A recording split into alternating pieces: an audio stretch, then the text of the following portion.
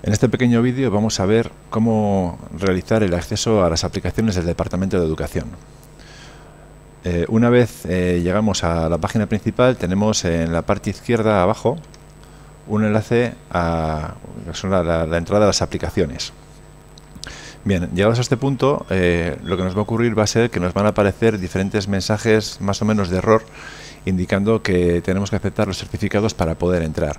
Eh, hay que hacer diferentes cosas en función de cuál sea el navegador que estemos utilizando. Por ejemplo, en Firefox lo que nos vamos a encontrar va a ser un mensaje como este, diciendo que la conexión no es fiable, tenemos que indicarle que entendemos los riesgos, después tendremos que aceptar o que añadir la, excepción, y una vez que hayamos eh, dado la orden de recoger o de descargar el certificado, eh, confirmaremos la sección de seguridad y, bueno, pues tendríamos ya el, primero de los certificados aceptados.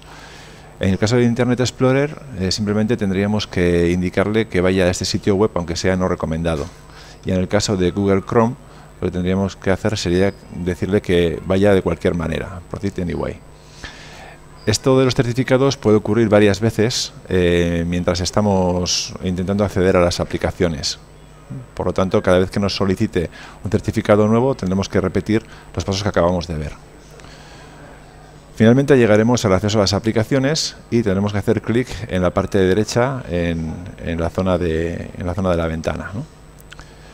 Bien, eh, aquí la, tendencia puede ser eh, decirle siguiente, continuar, pero tenemos que ir realmente a la parte inferior, al enlace que tenemos en la parte de abajo, hacer clic en la parte inferior para indicar cuál es el, usuario y, la contraseña. Si tenemos ya el usuario y la contraseña creados, podemos eh, indicarlo directamente, pero si es la primera vez que queremos entrar, tenemos que ir, o si queremos cambiar la contraseña, tenemos que ir al botón o a la, opción de cambiar contraseña. Aquí tendremos que seguir los pasos habituales, dar el usuario, la, la contraseña actual y dos veces la nueva contraseña. Y una vez que aceptemos, se nos van a abrir dos ventanas. La primera de ellas nos indica que nuestra sesión está en, está en marcha y esta ventana no tenemos que cerrarla. En el momento que cerremos esta, ventana, eh, dejaríamos de poder acceder a la aplicación.